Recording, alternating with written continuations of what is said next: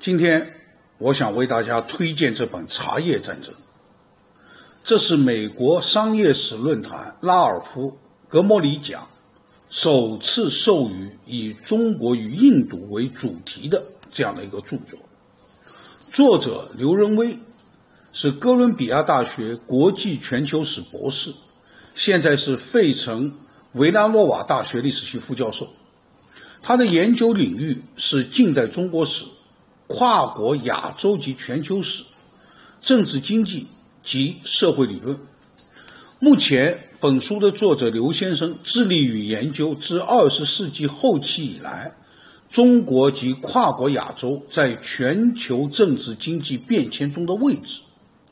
刘先生在西雅图出生长大，现在居住在费城。当作者刘仁威教授还在大学读本科的时候。他在历史系选修的第一门课程是现代南亚学，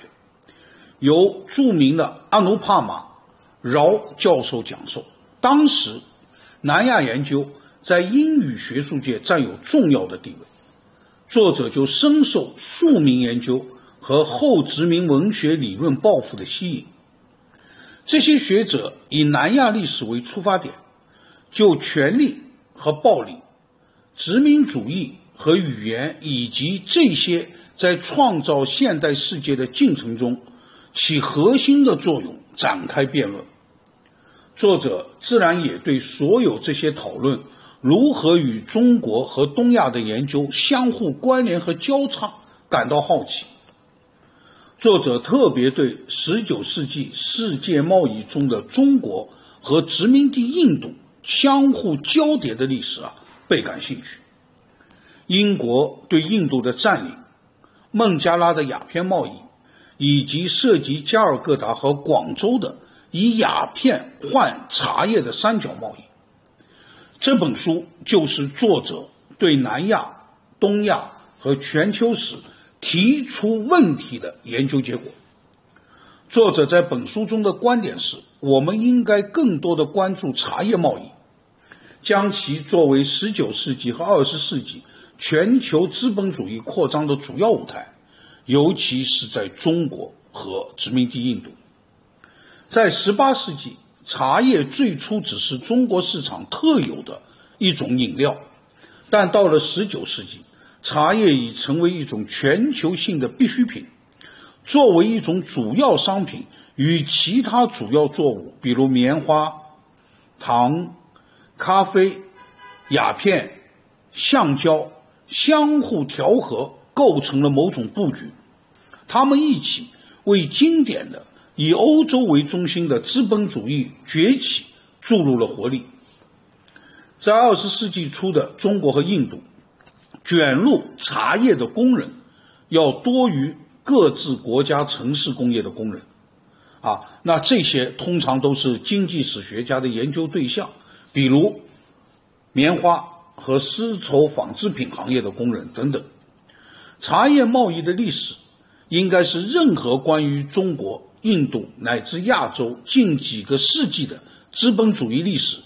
以及伴随而来的经济和社会生活变革的讨论的中心。没有比这更近乎完美的对称了。最初，来自印度的殖民地官员前往中国。研究中国茶叶的制作方法，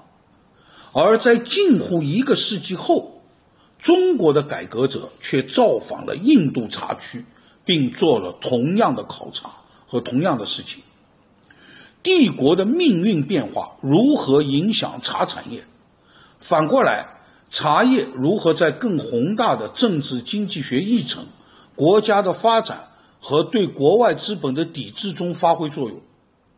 中国与印度的观察者是如何逐步理解过去数十年来高强度的全球整合过程中的冲突与巨变？这本《茶叶战争》就聚焦19世纪末、20世纪初全球市场下中印茶产业的激烈竞争，从全球史、经济史、比较史的角度去展开书写。探寻跨大西洋史观外关于劳动生产政治、经济史观、资本主义和全球现代性的各种可能性。作者以中国地方文献、清廷政客的奏章、清末文人的思想著作、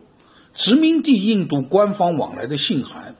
茶企业的备忘录、印度文学等各类文献材料为基础，聚焦当时全球消费者热捧与投资者青睐的全球性商品茶叶，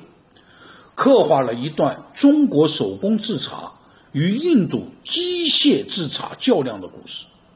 创新性的对比了中印从上至下各界人士为求生产转型与经济利润所采取的策略与路径，由此反映亚洲腹地早已置身于全球市场的同时，也参与了资本的积累与循环。本书的作者借助斯密、马克思。等人的理论旁征博引，旨在论证西方当时在奉行自由市场和市场的理念下，在殖民印度为求利润与积累，实质却隐匿鼓励着不自由的劳动生产体制。这种思想政治与生产实践的矛盾，反映出西欧经典的政治经济学并不具备普遍的适用性。这本书出版以后，受到各界的广泛好评。比如，有人评论刘仁威在茶叶战争中致力于解决如何书写北大西洋以外的资本主义历史的问题。他对亚洲两个区域的比较研究，迫使我们重新思考资本主义历史传统的印记。这是纽约大学历史系主任萨托利的评论。再比如。